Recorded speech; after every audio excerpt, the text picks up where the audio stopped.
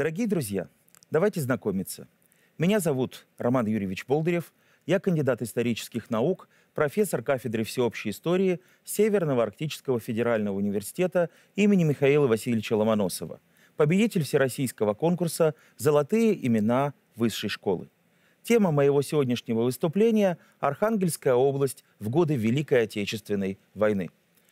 В ходе сегодняшней встречи мы узнаем с вами – в чем проявился массовый героизм жителей Архангельской области в годы Великой Отечественной войны? Мы будем говорить с вами о том, какую роль сыграли северяне на фронтах Великой Отечественной войны, какой подвиг совершили труженики нашего тыла, как работали порты Архангельска и Молотовска в годы войны, как они подвергались бомбардировкам. Рассмотрим развитие сельского хозяйства, медицину в годы войны, как осуществлялось снабжение населения – как обстояли дела с демографической ситуацией и как развивались образование и наука на Севере в тревожные годы Великой Отечественной войны. Начнем же мы наше сегодняшнее занятие на берегу Северной Двины, где 31 августа 2011 года была установлена стелла «Архангельск. Город воинской славы». Многие туристы, приезжающие в Архангельск, недоумевают, за что Тыловой, в общем-то, город, который был обозначен на немецких картах плана операции «Барбаросса» лишь как конечная цель немецкого наступления на севере. Немецкие войска планировали выйти на линию Архангельск, река Волга, Астрахань. Почему он удостоился такого высокого звания «Город воинской славы»?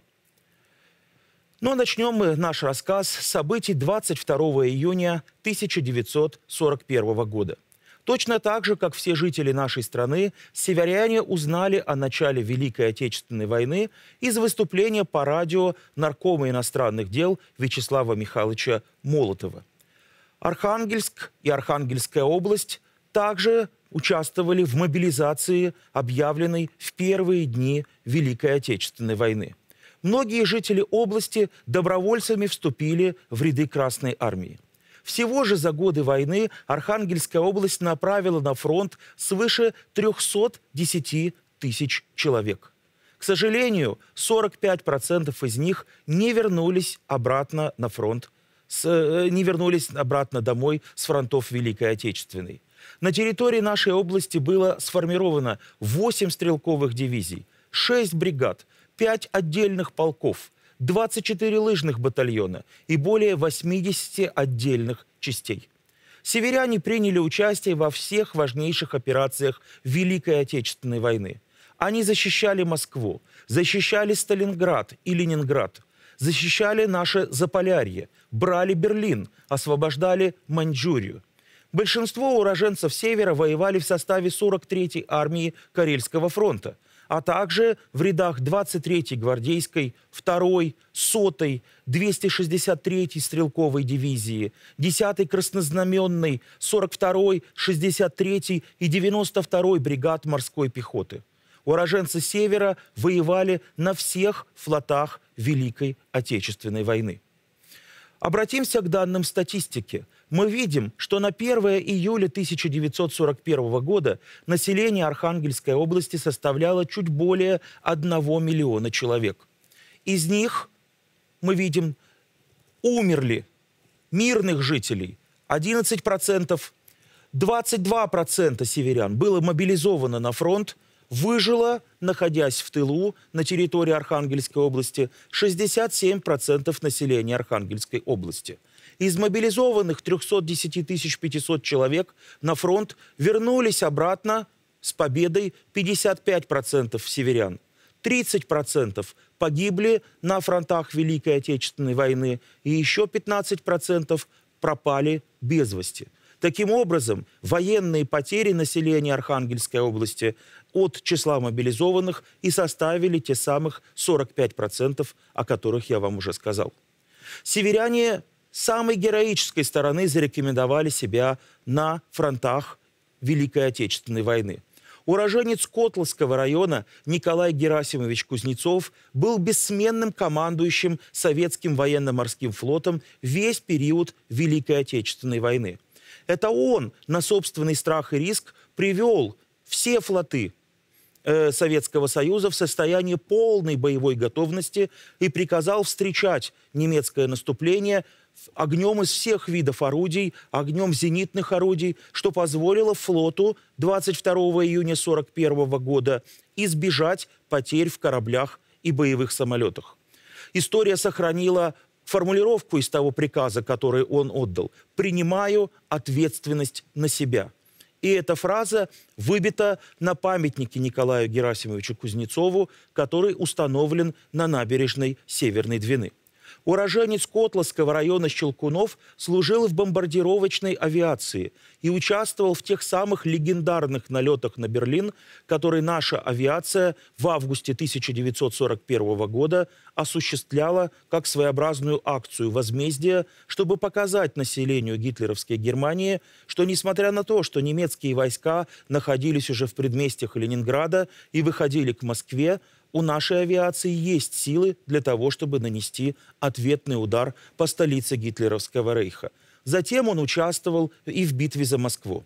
В ходе боев в Заполярье в ноябре 1941 года совершил свой подвиг уроженец Мизенского района Александр Торцев.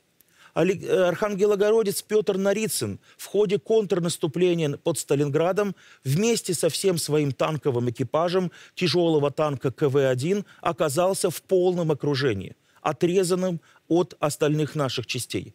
Гитлеровцы предлагали советским танкистам капитулировать, сдаться в плен, сдав боевую технику. Но экипаж танка предпочел сгореть в своей машине заживо, но не сдаться в плен врагу. Ученик Архангельского ФЗУ Сергей Орешков в ходе битвы на Курской дуге закрыл своей грудью амбразуру вражеского дзота, повторив подвиг легендарного Александра Матросова. Уроженец Онежского района Николай Козлов отличился при форсировании Днепра. Он лично уничтожил два танка и более 50 солдат противника, контратаковавших наши войска, захвативших стратегически важный плацдарм на противоположном берегу Днепра. При форсировании реки Нарвы, оставшись в одиночестве из всего артиллерийского расчета, житель Няндомского района Михаил Горбач не отступил – он сам выполнял обязанности и подносчика снаряда, и заряжающего, и вел огонь по вражеской пехоте, уничтожив лично из оставшейся в его распоряжении пушки 16 гитлеровцев. Уроженец Онежского района Семен Агафонов отличился при проведении Пицама-Киркенесской десантной операции. Высадившись в, рядах, э, в первых рядах десанта, он захватил вражеское орудие и открыл из него огонь по гитлеровцев, облегчив тем самым прорыв остальных катеров с десантом в, Пече, в Печенгский залив. Северодвинец Константин Трухинов командовал группой саперов в боях за украинский город Николаев. Под огнем противника наши саперы делали проходы в минных полях. Э, делали проходы в проволочных заграждениях, подавляли огневые точки врага. Уроженец Холмогорского района Прокопий Иванович Галушин пал смертью храбрых в тяжелых боях у озера Балатон, который вела наша армия зимой 1945 года. Когда немецкая самоходная артиллерийская установка «Фердинанд» прорвалась на наши позиции, Петр Иванович со связкой гранат бросился под гусеницы немецкой самоходки – ценой своей жизни остановив здесь наступление врага. В общей сложности 130 уроженцев Архангельской области были удостоены высокого звания Героя Советского Союза, в том числе дважды анижанин Александр Осипович Шабалин. Имена большинства из героев Советского Союза, которые жили или родились на территории Архангельской области, высечены на вот этой стелле, установленной на Архангельской набережной.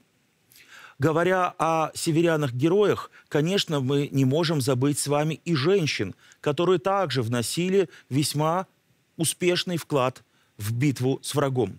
Роза Егоровна Шанина, советский одиночный снайпер э, отдельного отряда девушек-снайперов Третьего Белорусского фронта, была кавалером Ордена Славы. Она родилась в деревне Едьма Вельского уезда Вологодской губернии. Летом 1938 года она переехала к месту жительства в Архангельск, поступила в педагогическое училище. В 1943 году она была призвана в армию и закончила школу снайперов. С апреля 1944 года, когда началось генеральное наступление наших войск на Восточном фронте, она оказалась на передовой. Розу Евген... Егоровну отличало очень важное качество. Она была известна своей способностью вести очень точную, прицельную стрельбу по движущимся целям дуплетом. Когда два идущих друг за другом выстрелы наносят удар по врагу. На счету Розы Шаниной 59 подтвержденных уничтоженных солдат и офицеров противника. К сожалению, Роза Егоровна не дожила до нашей победы.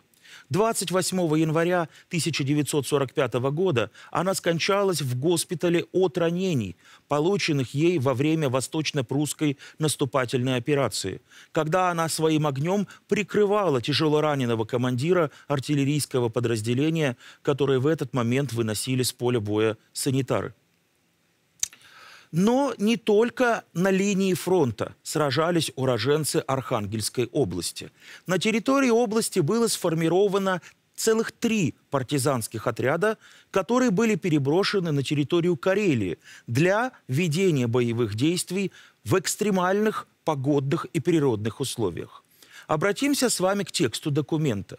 Из докладной записки начальника штаба партизанского движения Карельского фронта Вершинина. Условия боевой деятельности партизанских отрядов в Карело-Финской Советской Социалистической Республике и в Мурманской области имеют целый ряд особенностей. Пополнение партизанских отрядов кадрами при их нахождении в тылу противника было крайне ограничено.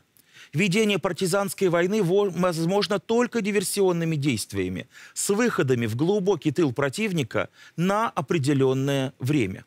Боевые действия сопряжены с необходимостью преодолевать расстояние от 300 до 500 километров по сильно пересеченной лесисто-болотистой местности и тащить на себе продовольствие, оружие и боеприпасы весом в 35-45 килограммов на каждого партизана. Непрерывные выходы в тыл противника продолжительностью от 30 до 50 суток каждый – за время войны партизанские отряды прошли по тылам противника в среднем от 5 тысяч до 11 тысяч километров. Большие трудности возникали при появлении больных и особенно раненых, которые тормозили движение отряда, отрывали большое количество здоровых людей на уход за ними и их эвакуацию в наш тыл. Это была особая партизанская война – отряд дислоцировался на нашей территории. И, пользуясь тем, что в Карелии линия фронта не была сплошной, через озера, через непролазные болота, эти отряды летом пешком, а зимой на лыжах пересекали линию фронта, уходили в тыл к действующим финским и немецким войскам, совершали боевые вылазки, нападения на отдельные гарнизоны, нападения на отдельные воинские части, важные стратегические объекты, а потом прорывали снова линию фронта и уходили в обратном направлении в наш советский тыл. Все это было сопряжено с необычайным проявлением мужества и героизма. Скупые строки документа, конечно же, не в состоянии передать нам всего, что испытывали на себе советские партизаны. Вы только представьте, если у вас за спиной мешок весом в 35-45 килограммов. И этот вес нужно было нести на себе на протяжении всего похода, который мог продолжаться до двух месяцев по болотам, по непролазным снегам, по целине. В любое время дня и ночи невозможно обратиться за поддержкой к местному населению, потому что отряды действовали в том числе и на финской территории. Быть раненым, заболеть во время похода значило почти гарантированно умереть, потому что обратиться за медицинской помощью также было некому. Но это не останавливало наших воинов, и они весьма успешно воевали. Наши архангелогородские партизанские отряды внесли свой вклад в разгром врага. Три партизанских отряда, в которых служило около 1300 человек, прошли в общей сложности 19 тысяч километров в ходе своих рейдов. Соверш... 189 партизан были награждены орденами и медалями Советского Союза.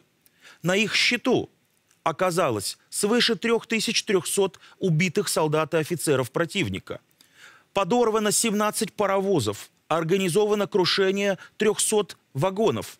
Было уничтожено 6 вражеских гарнизонов. Разбито 15 складов и баз противника. Таков был вклад наших северных партизан в разгром врага и в нашу победу в Великой Отечественной войне. Помимо сухопутных участков фронта, военные действия велись также на море и в воздухе. Для защиты наших коммуникаций в Белом море, часть, э, а также части Баренцева и Карского морей, 2 августа 1941 года была сформирована Беломорская военная флотилия. В ее состав вошли три эскадренных миноносца, три минных заградителя, 17 сторожевых кораблей, 20 тральщиков, 35 сторожевых катеров, 15 катеров-тральщиков, 2 ледокола и свыше 20 вспомогательных судов. Чаще всего это были спешно переоборудованные и вооруженные рыболовецкие траулеры.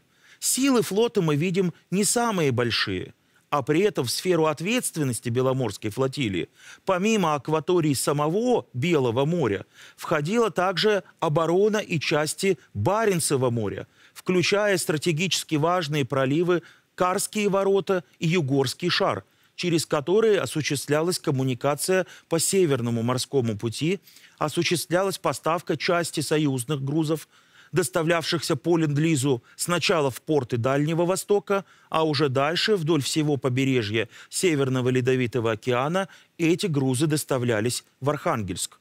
Через Карское, Баренцево и Белое моря поставлялась продукция Норильского никелевого комбината – а никель в условиях войны был одним из важнейших стратегических металлов, потому что даже небольшая добавка никеля в сталь превращала эту сталь в броню. Понятно, что эти коммуникации были лакомым куском для противника. Немецкие самолеты, немецкие подводные лодки, а иногда и надводные корабли-рейдеры совершали свои нападения на наши суда, и эти э, нападения необходимо было отбивать. За годы Великой Отечественной войны Беломорская флотилия обеспечила проводку около трех тысяч транспортов. При этом противнику удалось потопить только 46 кораблей и судов из трех тысяч, прошедших по Северному морскому пути.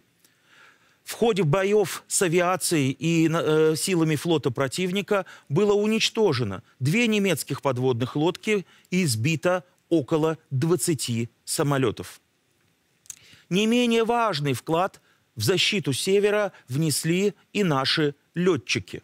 На территории Архангельской области, вблизи Мечкостроя, в поселке Лахта, на острове Ягодник в годы войны находились авиационные базы и военные аэродромы.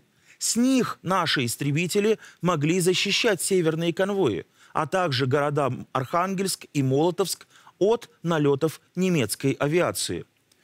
Были периоды, когда на этих аэродромах, помимо военно-воздушных сил Красной Армии, базировалась также бомбардировочная и истребительная авиация наших союзников, Королевских военно-воздушных сил Великобритании. И именно с аэродрома Ягодник в 1944 году поднялись в воздух английские бомбардировщики, которым удалось таки, наконец, тяжело повредить немецкий линкор «Тирпиц», на протяжении нескольких лет угрожавших нашим коммуникациям в Северной Атлантике и Северном Ледовитом океане. Гидроаэродромы были созданы на острове Моржовец, в Гремихе, на Рьенмаре, Амдерме и на Новой Земле. Самолеты э, с этих баз патрулировали и водную поверхность, и небо над Баренцевым морем могли вовремя засечь приближение немецких подводных лодок, засечь приближение немецких надводных кораблей и сообщить об этом нашим судам для того, чтобы у них было время для ответной реакции. И я уже сказал, что вместе с нашими пилотами совместно северное небо защищали и наши союзники, пилоты британских военно-воздушных сил.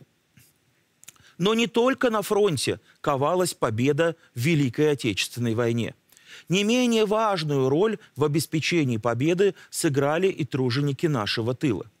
Большое количество жителей нашей области было привлечено к оборонным работам. Они строили аэродромы, оборудовали убежища от воздушных налетов. В соответствии со специальными постановлениями Государственного комитета обороны от 22 августа 1941 года более 30 тысяч жителей Архангельской области было направлено на строительство оборонительных сооружений. Их строили на Северном фронте, в районе Кандалакши, где важно было не допустить выход немецких и финских войск Кировской железной дороги, которая была единственной железнодорожной коммуникацией, через которую осуществлялось снабжение войск в Заполярье советских войск, через которую можно было поставлять грузы, поступавшие союзными конвоями через Мурманский порт. Кроме того, в ноябре 1941 года, в разгар битвы за Москву, когда существовала реальная угроза прорыва немецких войск из района Калинина дальше на север – 20 тысяч женщин было направлено на строительство оборонительных рубежей уже на территории Вологодской и Ярославских областей, от Вытигры до Пашихонья. Несмотря на отсутствие в необходимом количестве инструментов, теплой одежды и еды, женщины проявили чудеса мужества и героизма, возводя линии обороны для частей Красной Армии. О том, что пришлось пережить архангелогородцам, мобилизованным на оборонительные работы, свидетельствуют два документа. Это представлена на этом слайде картина художника Кононова, который был сам участником оборонных работ. Она называется «На оборонных работах в Заполярье». Вы видите, что нет никакой техники. Приходится своими собственными руками, кирками, лопатами, ломами перетаскивать, сдвигать с места огромные камни для того, чтобы строить ракадные дороги, через которые можно было бы вдоль линии фронта перебрасывать подкрепления, и скупые строки официального документа. Из докладной записки уполномоченного Архангельского обкома ВКПБ на полевом строительстве номер 24 НКВД СССР Суслонова о недостатках в организации оборонных работ. Документ датирован сентябрем 1941 года. Встречи рабочей силы, прибывшей на полевое строительство, организовано не было. Местные партийные, советские органы ничего не знали о прибытии людей. В силу неорганизованности и отсутствия единого руководства строительными работами, а также встречей и приемом рабочей силы, не было подготовлено ни помещений для ночлега, ни питания. Были случаи, что едущим рабочим на участок работы давали по 500 граммов хлеба на два дня – при этом нужно было пройти пешком до 80 километров. Не были обеспечены инструментами до 30% рабочих, особенно пилами, ломами, кирками. Совершенно неудовлетворительно обеспечены рабочие питанием. Рабочие получают от 700 до 900 граммов хлеба в день, суп и очень редко второе блюдо. Чай и сахар отсутствуют. Крайне мало было овощей и жиров. За последнее время их вообще нет. Очень много рабочих не обеспечены обувью и теплой одеждой. Надо сказать, что районные организации при отправке людей не обратили внимания на, на эти вещи и не предупредили рабочих об этом. Но несмотря даже на такие условия, наши жители продолжали возводить оборонительные укрепления и успели выполнить поставленную задачу в срок. Наступление финских и немецких войск на Кандалакшу было остановлено. С первых же дней войны архангелогородцы понесли свои деньги, понесли свои накопления в фонд обороны. На помощь фронту жители области собрали 169 миллионов рублей, 130 тысяч теплых вещей, 12 тысяч лошадей, 4,7 тысяч повозок, 1626 машин, 267 тракторов, собрали 41,5 килограмм серебряных изделий и около 1 килограмма золотых изделий. На эти средства, которые были направлены в фонд обороны, были построены танковая колонна, получившая название «Советский полярник».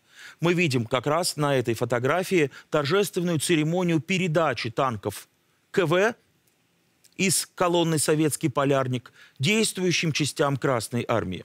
а также две авиаэскадрильи. Одна из них получила название «Трудящиеся Архангельской области», а вторая называлась «Комсомолец Архангельска». Очень важный вклад внесла и северная промышленность. Расположенные в Архангельске и Молотовске, нынешнем Северодвинске, судостроительные заводы быстро отремонтировали 1012 кораблей и судов, в том числе и иностранных, которые обеспечивали перевозки по Ленд-Лизу. Зазор между прибытием кораблей конвоя, потрепанных в море, действием немецких подводных лодок, самолетов-торпедоносцев, бомбардировочной авиации, а иногда и надводных кораблей противников. Так вот, зазор составлял одну-две недели. За это время необходимо было осмотреть корабль, провести дефектацию всех повреждений, которые ему были причинены, изготовить э, заплаты на корпус, изготовить запасные части, которые можно было установить вместо поврежденных, для того, чтобы корабль был готов к обратному плаванию с тем конвоем, который должен был выйти из Архангельска и двинуться обратно к берегам Великобритании и Соединенных Штатов Америки. Сами рабочие судоверфи при этом голодали. Работу в Лайском доке на э, ремонте корпусов – союзных э, э, судов осуществляли подростки в возрасте 14-15 лет. На фронт также было отправлено 25 миллионов кубометров леса, потому что строительство оборонительных укреплений, блиндажей, укрепление стенок окопов без лесоматериалов было абсолютно невозможно. И область, которую до войны называли всесоюзной лесопилкой и даже зеленым Донбассом внесла решающий вклад в обеспечение Красной Армии этими самыми лесоматериалами. На наших лесозаводах было организовано производство 15 миллионов комплектов тары для боеприпасов. Как тогда говорили, спецтары. В них упаковывали артиллерийские снаряды, в них упаковывали мины для минометов, упаковывали авиабомбы для транспортировки дальше к линии фронта. Изготовлено было 1,7 миллионов прикладов для винтовок и автоматов ППШ. Изготовили 360 тысяч лыж. 124 тысячи тонн целлюлозы отправили целлюлозобумажные комбинаты, действовавшие на территории области. Целлюлоза была необходима не для производства бумаги. Она была необходима для производства взрывчатых веществ также было изготовлено уже на механических заводах э, в Архангельской области 80 тысяч корпусов мин. Трудовая мобилизация и мобилизация на фронт, понятно, выбила со всех промышленных предприятий, из всех колхозов и совхозов в первую очередь мужчин в самом трудоспособном возрасте, самых физически крепких. Поэтому на смену мужчинам на производство и в сельском хозяйстве в первую очередь, конечно же, пришли женщины. Самый тяжелый труд, который пришлось выполнять женщинам, это труд на лесозаводах. Потому что помещения лесозаводов не отапливаются. Постоянные сквозняки, сырость, бревна, которые сплавляли по Северной Двине и по другим северным рекам, необходимо было вылавливать баграми из реки и дальше поднимать наверх на распиловку, находясь при этом зачастую по колено в холодной воде. Так вот, уже в сентябре 1941 года 54% всех работников лесозаводов составляли женщины, а к январю 1945 года доля женщин, занятых на производстве на лесозаводах, достигла 70%. Помимо женщин, к станкам на наших промышленных предприятиях встали подростки. В первую очередь подростков привлекали к работе на механических заводах, на судостроительных заводах. Доля подростков на промышленных предприятиях Архангельской области составляла от 40 до 75% в зависимости от производства. Мы видим с вами на, этом, на этой фотографии целую бригаду, сформированную из подростков, трудившихся на судостроительном заводе номер 402. Ныне это производственное объединение «Северное машиностроительное предприятие». Еще одним резервом, который можно было привлечь для обеспечения предприятий трудовыми ресурсами, это были пенсионеры. доля пенсионеров на производстве составила 44,5%. Не менее важную роль в обеспечении потребностей фронта должны были сыграть и порты, расположенные на территории Архангельской области. Немецкие танки рвались к Москве и к Ленинграду, а в это время 31 августа 1941 года в Архангельск прибыл первый союзный конвой. Он получил кодовое обозначение «Дервиш». Уже потом, постфактум, его переименуют в конвой PQ-0. Он состоял всего из семи судов, действовавших под английскими и голландскими флагами, которые утром 31 августа 1941 года вошли в устье Северной Двины. Этот конвой доставил в Архангельск 10 тысяч тонн каучука, 39 истребителей, 38 тысяч глубинных бомб и магнитных мин, необходимых для нашего военно-морского флота, а также другие важные стратегические грузы. С этого момента перевозка грузов по северному маршруту стала относительно регулярной.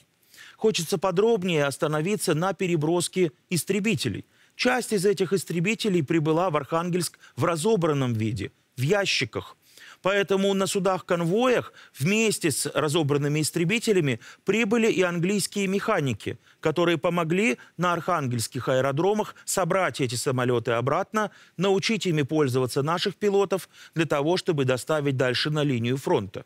Но 24 из этих 39 истребителей прибыли в Архангельск своим ходом. Они находились на палубе британского авианосца «Аргус», который прошел через Норвежское море в Баренцево море и поднял в воздух эти 24 истребителя, которые самостоятельно долетели до Архангельска и приземлились на наших аэродромах. Собирать эти самолеты не было никакой необходимости, они были готовы к отправке на фронт буквально в первые же минуты. В общей сложности в 1941-1945 годах из Великобритании и США к нам на север прибыл 41 конвой. В общей сложности три порта – Архангельск, Молотовск и Мурманск – обработали около 25% всех грузов, поставляемых Советскому Союзу по Ленд-Лизу. Было разгружено более 3 миллионов тонн грузов, в том числе 2312 боевых самолетов, 3428 танков, 819 бронемашин, 717 орудий и минометов. Это было очень важным подспорьем для Красной Армии, особенно в начальный период Великой Отечественной войны, когда потери в боевой технике в ходе оборонительных боев были очень существенными. Немецкая авиация и немецкая разведка очень пристально следили за всем происходящим на севере. Для немцев стало настоящим изумлением, когда на полях сражений под Москвой они обнаружили бронетехнику английского, а затем еще и американского производства. Очень быстро враг догадался, куда именно поставляются на территории Советского Союза иностранная военная техника и другие военные грузы. Поэтому уже с весны 1942 года немецкие самолеты-разведчики наблюдали за северными портами, разведывали цели, планировали нанесение будущих бомбовых ударов. На этом слайде вы видите как раз немецкую аэрофотосъемку. Слева изображен город Молотовск, и мы видим, что центр фотографии приходится как раз на территорию судостроительного завода номер 402 а на правом снимке мы видим с вами центр города Архангельска. И это не просто фотография, а фотография, уже обработанная сотрудниками авиаразведки. На ней отмечены все важнейшие цели. Отмечены места дислокации зенитных орудий, отмечены места расположения военных складов, места якорных стоянок и швартовок Э, судов, которые действовали в акватории порта, и союзных судов, которые приходили вместе с северными конвоями. Для чего собирались эти фотоснимки? Для того, чтобы запланировать кинжальный удар по северным портам, сорвать перевозку грузов по Ленд-Лизу.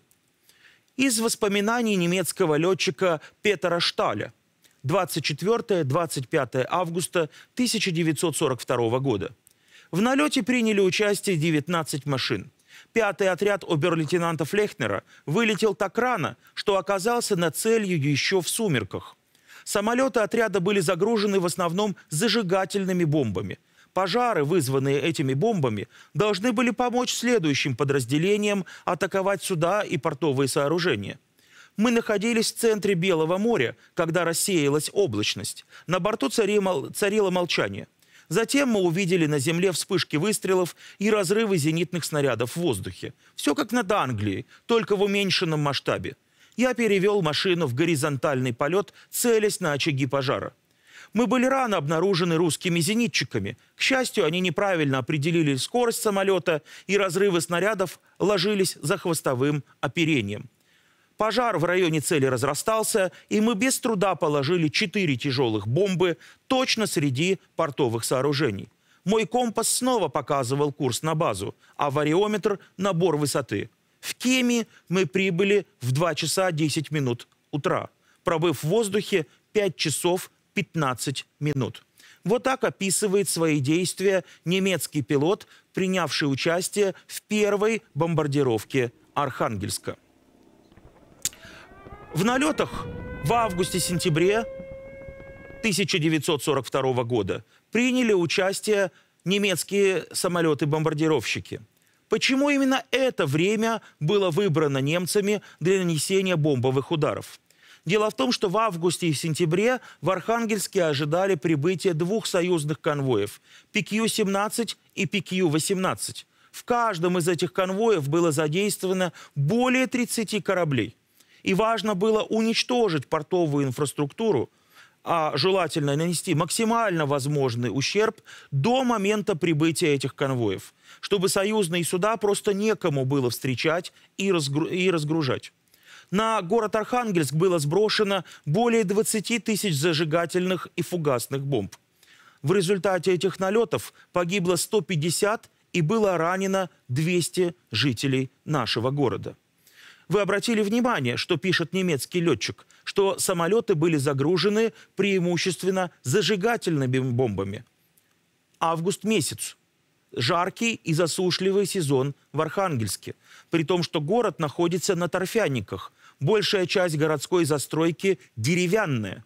Вот именно поэтому немцы и выбрали зажигательные бомбы. Когда от загоревшегося одного дома огонь мог дальше перекинуться на соседние дома. И если ты поджег один дом в микрорайоне, в результате пожара мог выгореть целый городской квартал. Вот на это рассчитывала немецкая авиация.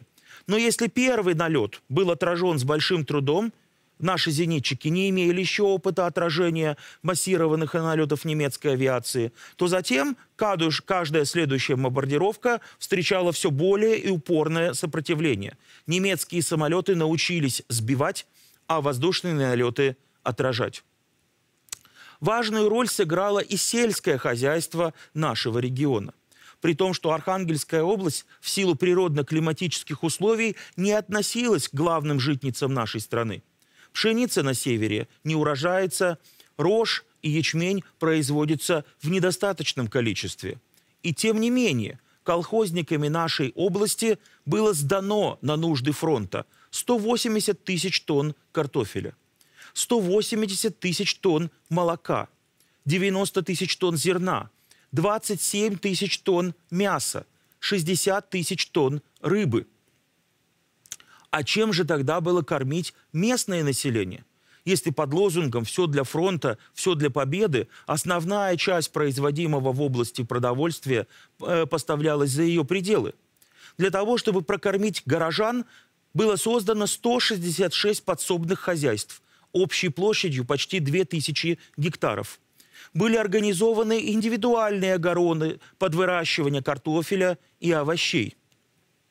Прибегли и к альтернативным источникам добычи продовольствия.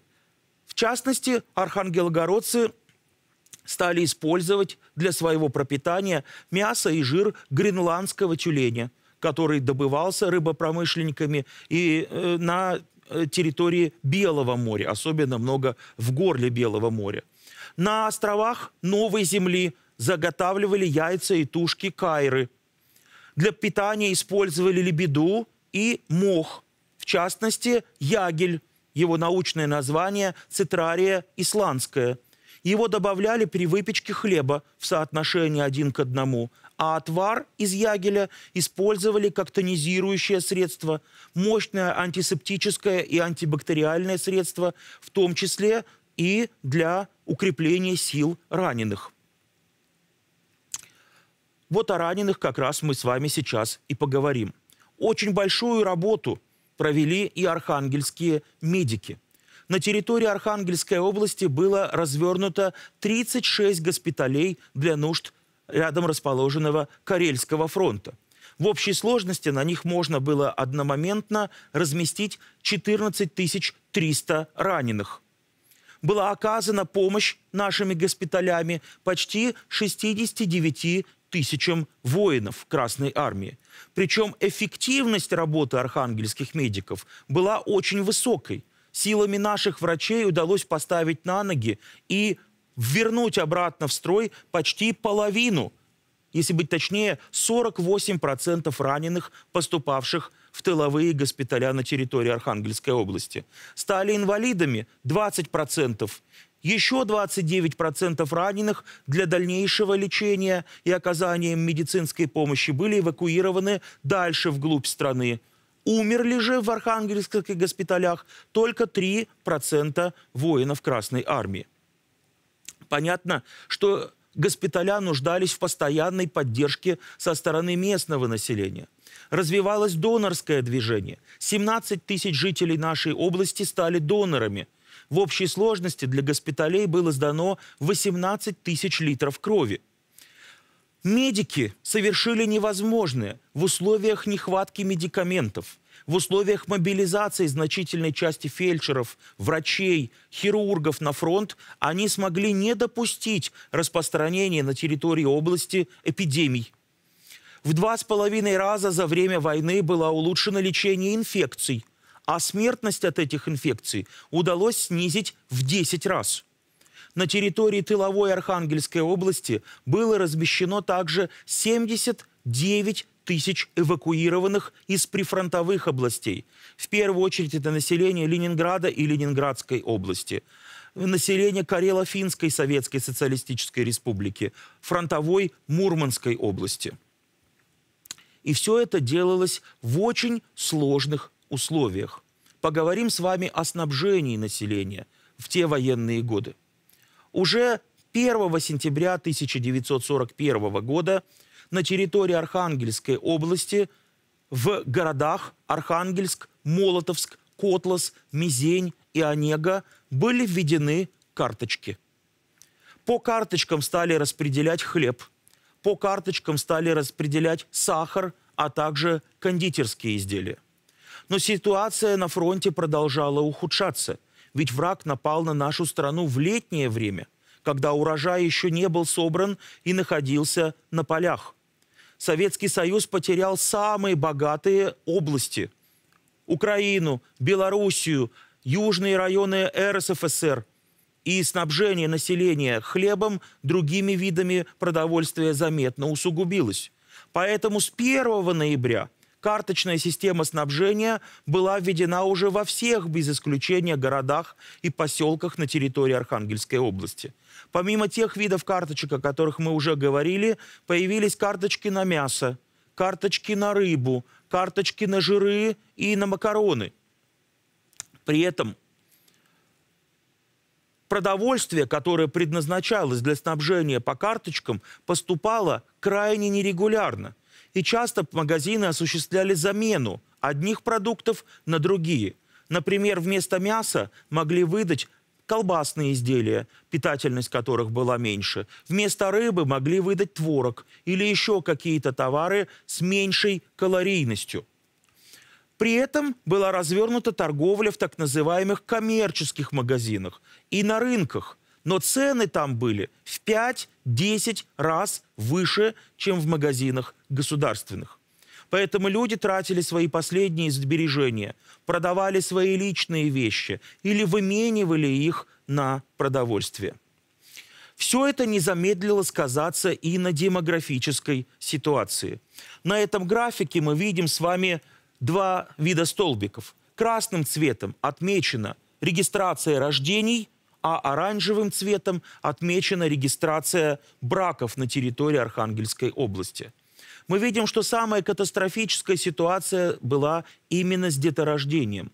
В условиях мобилизации мужчин рождаемость резко упала – если в 1941 году ЗАГСы на территории Архангельской области зарегистрировали 45 тысяч рождений детей, то в 1943 году уже только 11 287.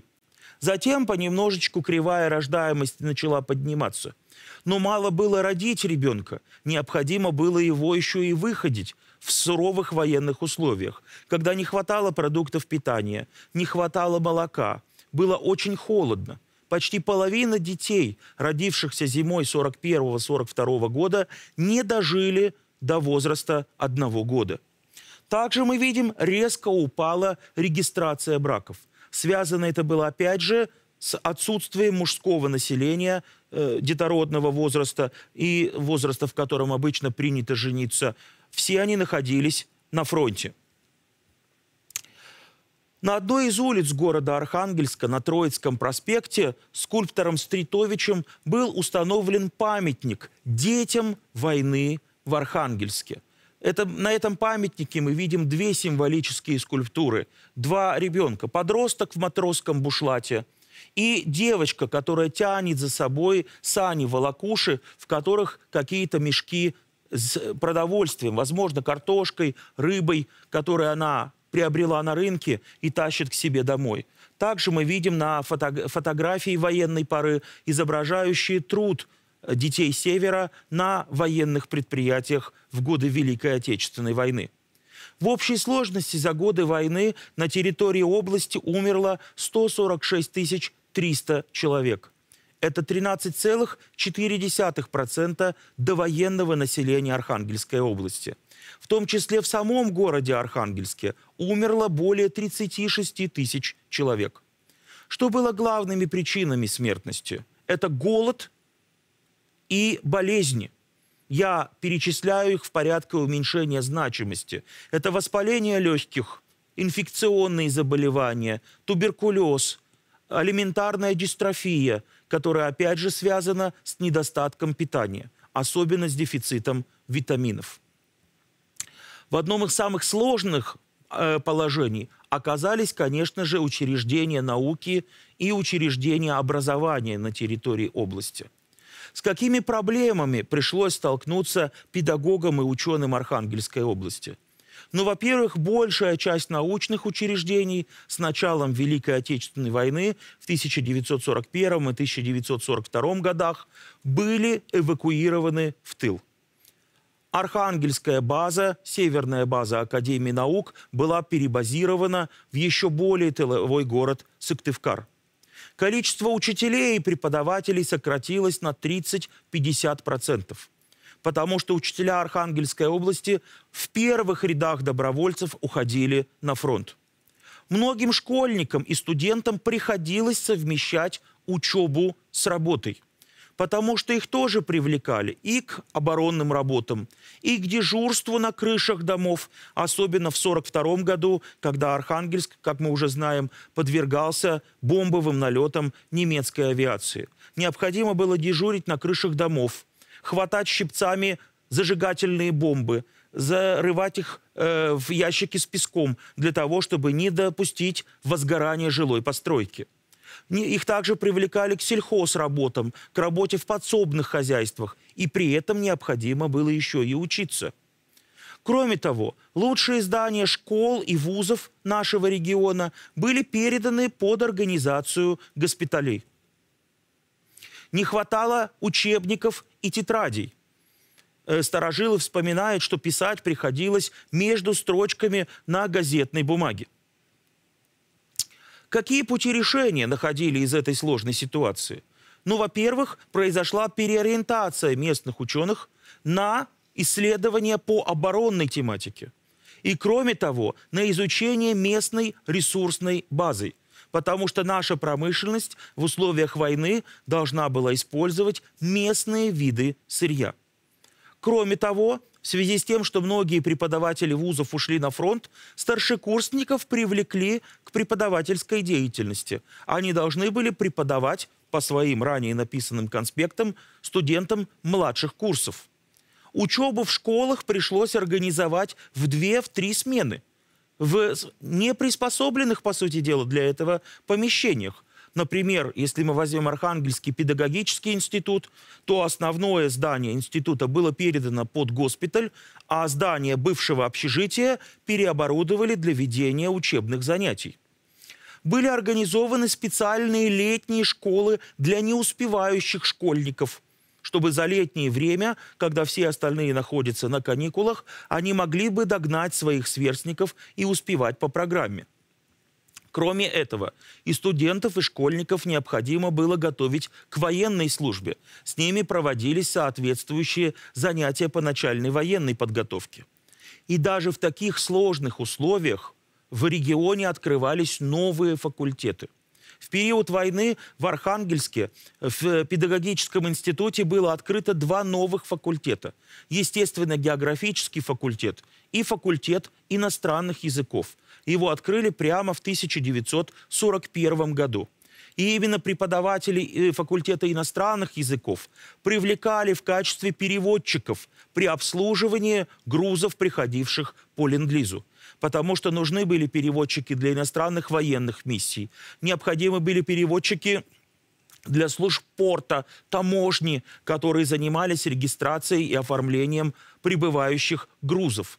Преподаватели факультета иностранных языков разработали и в кратчайший срок издали англо-русско-английский военный перевод, э, военный разговорник, в котором была вся необходимая лексика которая могла потребоваться нашим морякам, нашим грузчикам, нашим портовым работникам, работникам государственных структур для беседы с иностранными моряками, руководителями союзных военных миссий, дислоцировавшихся в городе Архангельске. Помимо обычных учебных заведений, на территории нашего региона разместили и военно-учебные заведения. Были военные учебные заведения для взрослых, Например, в городе Коряжме открылось Котловское военное училище. В городе Каргополь э, в него было перебазировано Пуховичское военно-пехотное училище. В сам Архангельск принял у себя эвакуированное с территории Белоруссии Борисовское военно-инженерное училище – также в Архангельске было организовано военно-пулеметное училище. В город Вельск было перебазировано Ленинградское военно-ветеринарное училище.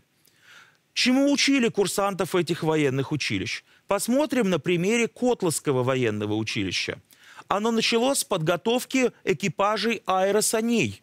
Они производились на архангельских предприятиях и предназначались для ведения военных действий на Карельском фронте эти сани с расположенным сзади мотором, с несущим винтом, вооруженные пулеметом, вот необходимо было подготовить экипажи для таких самоходных пулеметных установок, которые очень годились для ведения боевых действий в условиях тундры. Затем, по мере изменения ситуации на фронте, это училище стало готовить механиков-водителей и экипажей для легких танков Т-70, и для самоходных артиллерийских установок Су-76. Но помимо военных учреждений для взрослых учебных, были организованы и военные учреждения учебные для детей. На Соловецких островах 25 мая 1942 года было открыто уникальное учебное заведение – Соловецкая школа «Юнг» военно-морского флота, которая готовила младший Э, младший состав для нужд советского военно-морского флота. А ведь наш флот столкнулся с достаточно критической ситуацией. Э, осенью 1941 года для того, чтобы затыкать бреши во фронтах, очень многие моряки были списаны на берег и пополнили отряды морской пехоты, которые воевали и под Севастополем, и под Ленинградом, и на других тревожных участках советско-германского флота. Многие из них пали смертью храбрых в бою. А когда в 1942 году в массовом порядке пошли союзные конвои и потребовалось резко активизировать наш э, военно-морской флот, выяснилось, что не хватает личного состава, обученного э, состава, который мог бы э, работать на эсминцах, тральщиках, подводных лодках, торпедных катерах, других боевых кораблях. И восполнить дефицит матросов были призваны как раз выпускники Соловецкой школы Юнг. На базе Архангельского морского техникума действовала еще одна школа Юнг, предназначенная для северного морского пароходства – Подобные учебные заведения от лица наркомата рыбного флота были также открыты в Нарьянмаре и в Мизене. То есть мы видим, что и взрослые, и дети готовились к военной службе, готовились защищать свою родину и отдавать, если потребуется за нее, свою жизнь. Родина высоко оценила труд уроженцев Архангельской области – 130 жителей нашей области были удостоены высшей награды нашей Родины – звания Героя Советского Союза. 11 тысяч северян получили медаль за оборону советского Заполярья. 140 тысяч жителей Архангельской области были награждены медалью за доблестный э, труд в Великой Отечественной войне 1941-1945 годов. И разглядывая вот эту архивную фотографию, на которой запечатлен митинг, посвященный нашей победе 9 мая 1945 года в одном из колхозов Холмогорского района Архангельской области, нетрудно заметить, кто ковал победу в нашем тылу. Среди людей, вышедших на, праздничный митинг, мы фактически не видим взрослых мужчин. Большинство собравшихся на этом митинге – это женщины и дети. Именно на них легла основная тяжесть обеспечения нашей армии продовольствием. Они ковали победу в нашем тылу. Поэтому совершенно не случайно 5 декабря 2009 года президент Российской Федерации Дмитрий Анатольевич Медведев присвоил городу Архангельску звание «Город воинской славы». И на барельефах, украшающих стилобат стеллы Архангельск, город воинской славы, два барельефа как раз отражают труд уроженцев нашего региона в годы Великой Отечественной войны. Итак, сегодня мы говорили с вами о вкладе жителей нашей области в обеспечение победы в Великой Отечественной войне – так в чем же проявился массовый героизм жителей Архангельской области в Великой Отечественной войне? Мы увидели с вами, что более 310 тысяч северян были мобилизованы на фронт, доблестно воевали на этом фронте, и около 45% из них погибли или пропали без вести. 130 человек стали героями Советского Союза. 11 тысяч человек были награждены медалью за оборону Советского Заполярья. Кроме того, северяне были заняты на оборонных работах, собирали средства фонд обороны. Практически все предприятия области были переориентированы на выпуск важной военной продукции. На рабочих местах стали старики, женщины, дети, которые смогли заменить мобилизованных на фронт мужчин. Колхозники нашего региона сдавали государству картофель, молоко, зерно, мясо, а рыбаки всю вылавливаемую ими рыбу.